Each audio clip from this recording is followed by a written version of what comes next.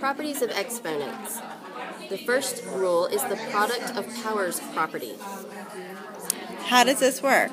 We have x squared times x to the fourth can also be written as x times x times x times x times x, which is x to the sixth power. Is there an easier way to do this? We have a rule. a to the m times a to the n would equal a to the m plus n. Multiply the coefficients if necessary, and add the exponents of like bases. Let's try an example. x to the sixth power times x to the fourth power equals x to what power? The answer, x to the tenth power. 6 times 6 squared equals 6 to what power?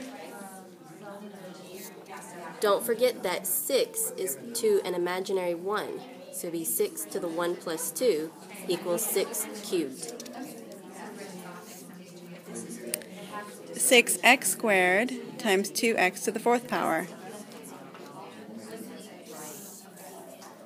Don't forget to multiply the coefficients. 6 times 2 is 12.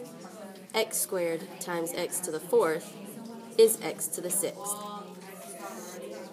What happens if we have a negative coefficient? Negative 5x squared times 10xy times 2y squared.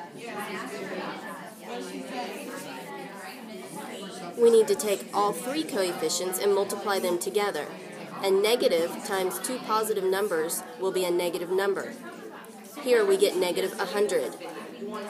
Then we multiply our x's together, which will give us x squared times x to the 1 and give us x cubed. Finally, we multiply our y's together, y to the 1, y squared equals y cubed. And that is our power property.